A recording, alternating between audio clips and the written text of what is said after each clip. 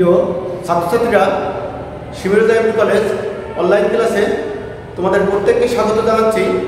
আমি মোহাম্মদ শাহিদুর রহমান, প্রভাষক, ইসলাম ইতিহাস ও সংস্কৃতি। গত ক্লাসে যেখান থেকে শেষ করছিলাম, তারপর থেকে আজকে শুরু করব। গত ক্লাসের আমাদের আলোচ্য বিষয় ছিল মোহাম্মদ বিন তুগলকের পাঁচটি মহাপরিকল্পনা। এই পাঁচটি মহাপরিকল্পনার ভিতরে গত ক্লাসে আমরা তিনটি আলোচনা করছিলাম।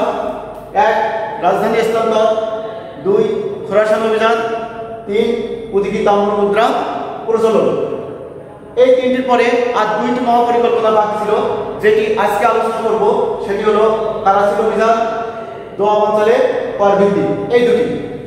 এই ক্লাস থেকে আমরা যেটি শিখতে পারব, এটি শিকল ফল হলো মহাপরিকল্পনা পাঁচটি সম্পর্কে তোমরা জানতে পারবে। দুই মহাপরিকল্পনাগুলোকে এই যে মহাপরিকল্পনা গ্রহণের কারণ অনুধাবন করতে পারবে। তিন এর পরিকল্পনা ব্যর্থতার কারণগুলো বাস্তব জীবনে প্রয়োগ করতে পারবে। এবং চার, এ মহাপরিকল্পনা ফলাফল বিস্তারিত বিশ্লেষণ করতে পারবে। এটি ছিল আজকের ক্লাসের শিকলফল তো এখন গত ক্লাস নিয়ে একটু আলোচনা করি। সেটি হলো যে মোহাম্মদ বিন তুগলক পাঁচটি মহাপরিকল্পনা গ্রহণ করেন। মহাপরিকল্পনা হলো দেশের আর্থিক এবং সামাজিক উন্নতির লক্ষ্যে বিশাল অর্থ ব্যয়ে যে পরিকল্পনাগুলো গ্রহণ করা হয় সেগুলোকে আমরা সাধারণ অর্থে মহাপরিকল্পনা বলতে পারি। এর সাদৃশ্য হিসেবে তোমরা বলতে পারো, আমাদের দেশের সরকার অনেকগুলো মেগা প্রজেক্ট বা মহাপরিকল্পনা গ্রহণ করছে। এর ভিতরে তোমরা দৃশ্যমান যেটি দেখতে পাও, বঙ্গবন্ধু স্যাটেলাইট, পদ্মা সেতু, নিজস্ব অর্থায়নে যেটি প্রায় চালু হওয়ার কাছাকাছি এরপর বলতে পারো, ঢাকা মেট্রো রেল কর্ণফুলি নদীর তলা দিয়ে ট্যানেল তৈরি পায়রা সমুদ্র বন্দর, রূপপুর পারমাণবিক বিদ্যুৎ কেন্দ্র, রামপাল বিদ্যুৎ কেন্দ্র অনেকগুলো প্রকল্প সরকার চলমান, সরকারের চলমান আছে। এই প্রকল্পগুলোকে আমরা মোহাম্মদ বিদ্যুৎগুলোকে এই মহাপরিকল্পনার সাথে সাদৃশ্য দেখাতে পারি। তবে পার্থক্য এখানে যে বিদ্যুৎগুলোকে যে পাঁচটি মহাপরিকল্পনা এই পাঁচটি মহাপরিকল্পনা পাঁচটি ব্যর্থ হয় এবং বর্তমান আমাদের দেশে যে পরিকল্পনাগুলো চলমান আছে, এগুলো আলোর মুখ দেখছে, কোনোটা চালু হয়েছে, কোনোটা চালু হওয়ার কাছাকাছি সময় আছে।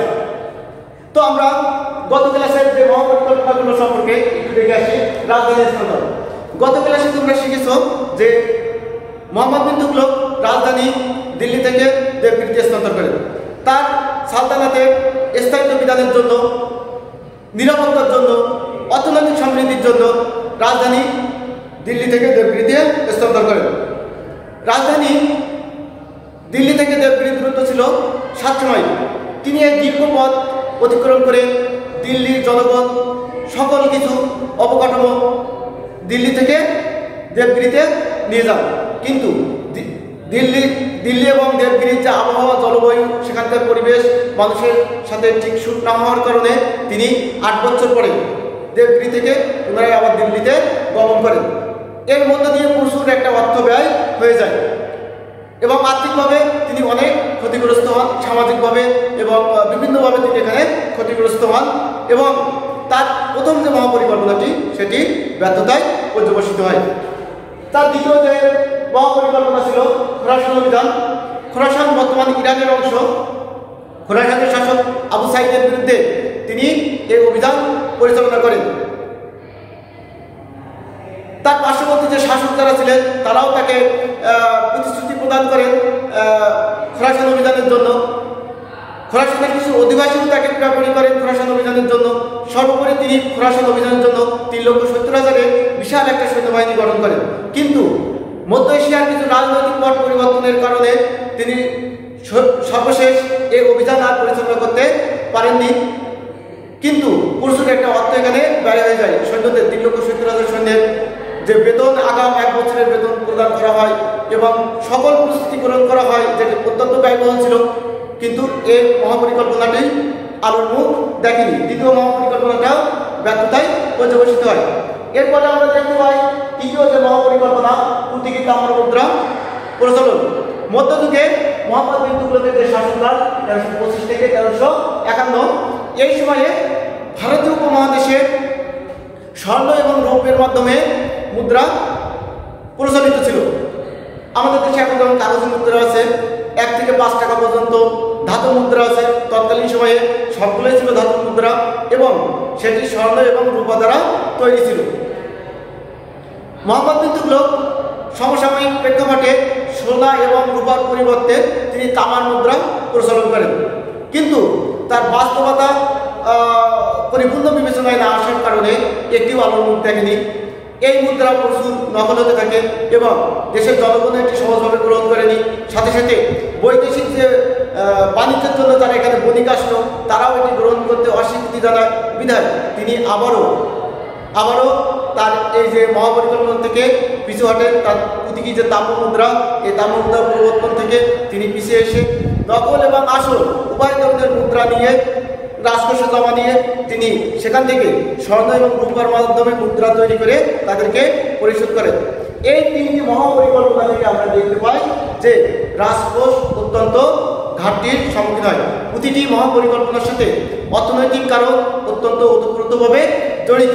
এবং প্রতিটা মহাপরিকল্পনায় ছিল অত্যন্ত ব্যয়বহুল এবং তার রাজকোষ প্রায় শূন্যতার কাছাকাছি চলে আসে। এরপর আমরা দেখব তার যে চতুর্থ মহাপরিকল্পনা, সেটি কারাসি অভিযান। কারাসিন ছিল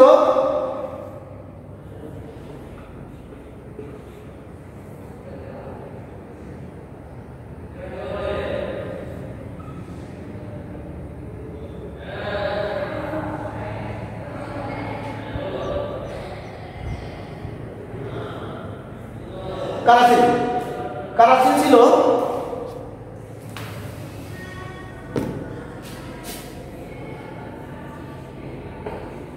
ভারত এবং চীনের মধ্যবর্তী একটি হিন্দু রাজ্য। ঐতিহাসিক ফিরেস্তা উল্লেখ করেছেন যে মোহাম্মদ বিন তুগলকের উদ্দেশ্য ছিল চীন জয় করা তিনি এর আগেও একটি অভিযান করেছেন খোরাসান অভিযানের প্রস্তুতি নিয়েছিলেন সে মহাপরিকল্পনার ব্যর্থতা হওয়ার পরে তিনি জয়ের পরিকল্পনা গ্রহণ করছিলেন বলে ঐতিহাসিক ফেরেস্তা মত ব্যক্ত করেছেন। কিন্তু ঐতিহাসিক বারানি এবং ঐতিহাসিক ইবনে বদুতা তারা বলছেন যে না, তার চীন জয়ের কোনো পরিকল্পনা ছিল না। তার রাজ্যের উত্তর অংশে উত্তর অংশে শক্তিশালী যে হিন্দু রাজ্য কারাচি এই কারাচি যে কোনো সময় তার জন্য হুমকি হয়ে দাঁড়াতে পারে। বিদায়, তার ভারতীয় উপমহাদেশের নিরাপত্তা বিধানের জন্য তিনি এই কারাচির অভিযান পরিচালনা করেন।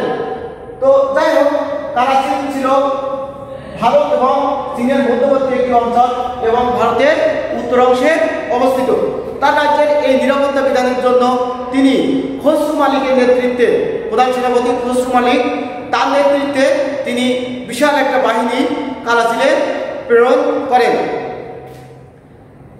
কিন্তু এখানে কিছুটা তার অদূরদর্শিতার কারণে যে কারাচিলের সেখানকার পরিবেশ, সেখানে সৈন্যরা যেতে পারবে কিনা, আবহাওয়া কেমন, বা যে সময় অভিযান পরিচালনা করবে সেই সময় সেখানকার আবহাওয়া কেমন হবে, এই যে বিষয়গুলো বিবেচনায় না দেওয়ার কারণে সেখানে অভিযান যখন পরিচালিত হলো খসরু মালিক বেশ কিছু অভিযানে সফলতাও লাভ করে, কিন্তু হঠাৎ করে প্রচুর বৃষ্টিপাতের কারণে এবং প্রধান সেনাপতির হটকারিতার কারণে তার যে বিশাল সৈন্যবাহিনী, সেটি ছিন্ন ভিন্ন হয়ে যায় এবং প্রাকৃতিক দুর্যোগের কারণে বহু সৈন্য সেখানে মৃত্যুবরণ করে।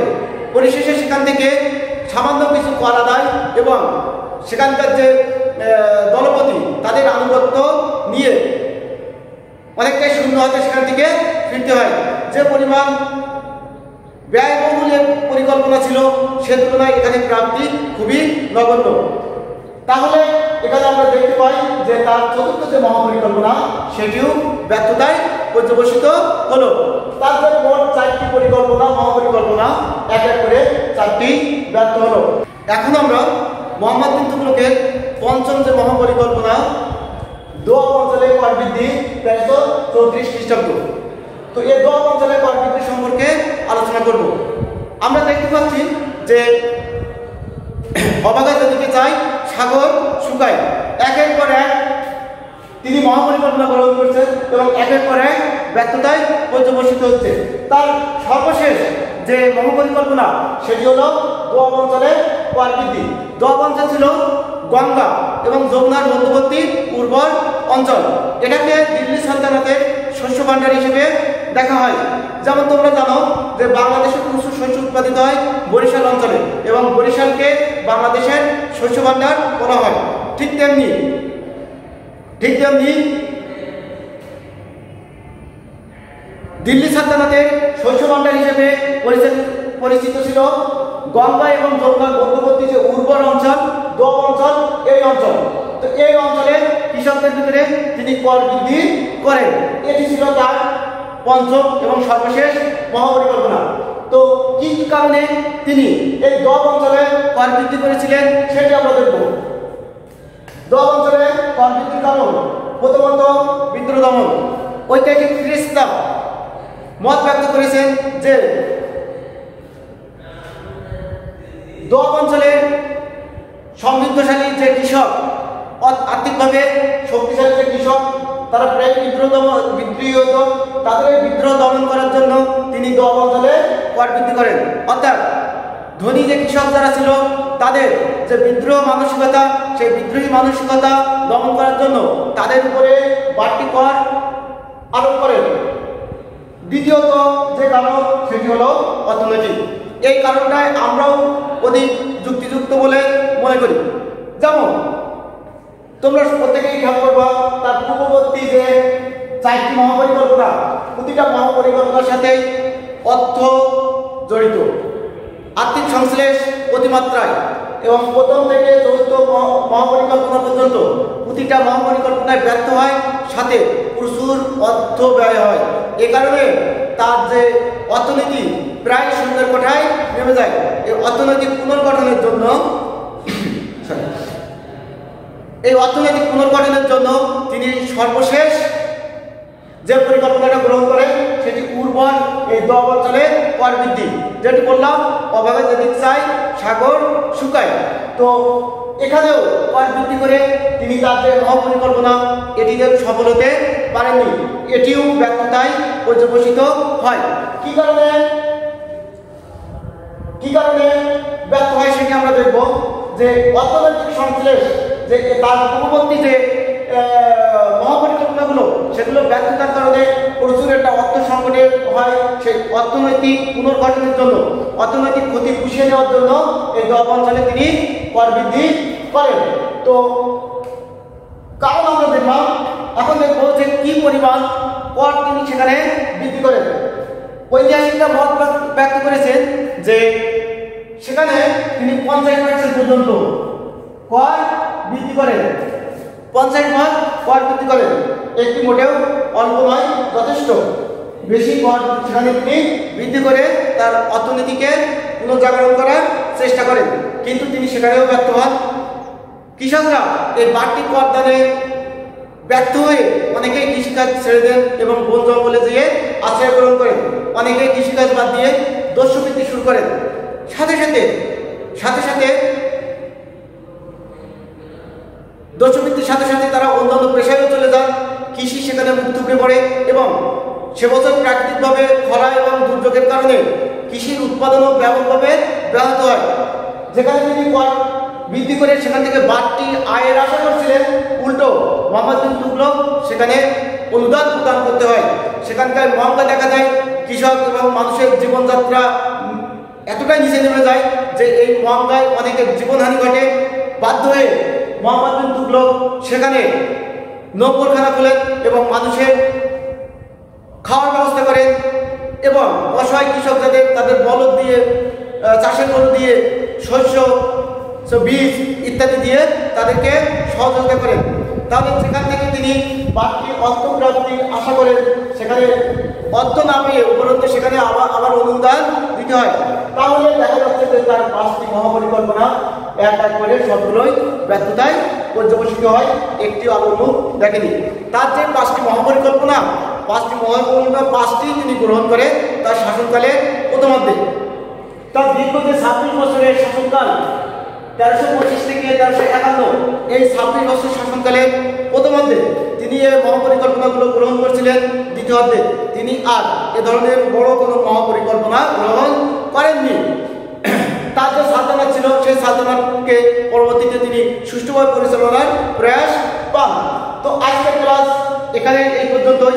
আজকের ক্লাস থেকে তোমরা যেটি শিখতে পারলে, এর শিক্ষণ হলো বিন তুগলকের পাঁচটি মহাপরিকল্পনা সম্পর্কে তোমরা জানলে। এই পাঁচটি মহাপরিকল্পনা গ্রহণের কারণ তোমরা অনুধাবন করতে পারলে।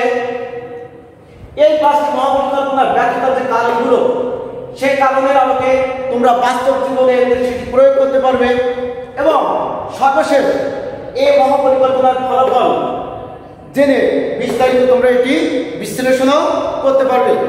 তো আজকের ক্লাসে এই পর্যন্তই। আগামী ক্লাসে আমরা আলোচনা করব ইসলামের ইতিহাস ও সংস্কৃতি বিষয়ে দ্বিতীয় পত্রের তৃতীয় অধ্যায়। মুঘল আমল। ভারত শাসন মুঘল শাসন ভারত উপমহাদেশে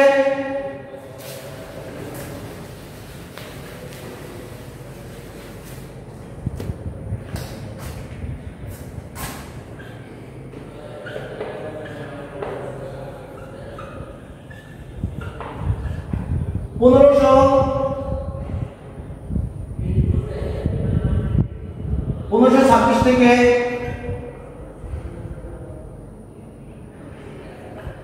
আঠারোশো আটান্ন খ্রিস্টাব্দ পর্যন্ত স্থায়ী ছিল এই মুঘল শাসন আমল ভারত উপমহাদেশের জন্য অত্যন্ত গুরুত্বপূর্ণ একটি সময়কাল। আমরা আগামী ক্লাসে দেখব যে এই মুঘল শাসন ভারত উপমহাদেশে স্থায়ী হওয়ার প্রেক্ষাপট কীভাবে স্থায়ী হলো, প্রতিষ্ঠিত হলো এর প্রতিষ্ঠাতা সম্রাট বাবর এবং আরও যে গুরুত্বপূর্ণ যে শাসক যারা আছেন, সম্রাট বাবর, তার পুত্র হুমায়ুন, তার পুত্র আকবর, তার পুত্র জাহাঙ্গীর, তার পুত্র শাহজাহান এবং আরও বোঝেন এই ছয়জন যে শাসক, গুরুত্বপূর্ণ শাসক, এই গুরুত্বপূর্ণ ছয়জন শাসক তাদের শাসনকাল, তাদের কার্যকরী সম্পর্কে আলোচনা করব। তোমরা বাড়িতে এগুলো একটু অনুশীলন করবা। দেখা হবে আগামী ক্লাসে। তোমরা প্রত্যেকে এই করোনাকালীন সময়ে স্বাস্থ্যবিধি মেনে চলবা এবং স্বাস্থ্যবিধি মেনে চলার সাথে সাথে যেহেতু কলেজের কার্যক্রম বন্ধ আছে অনলাইন ক্লাস হচ্ছে অনলাইন ক্লাসগুলো রেগুলার দেখবা। এখনও পর্যন্ত যারা সিঙ্গুরে যায় এমপি কলেজ অনলাইন ক্লাসটি সাবস্ক্রাইব করনি, তোমরা ক্লাস চ্যানেলটি সাবস্ক্রাইব করবা। এবং বেশি বেশি করে লাইক এবং কমেন্টস করবা। এবং পাশের বেল আইকনটি বাজিয়ে দেব। ধন্যবাদ সবাইকে দেখা হবে আগামী ক্লাসে।